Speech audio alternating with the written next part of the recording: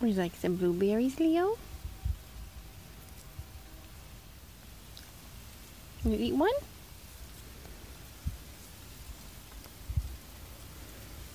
Mmm.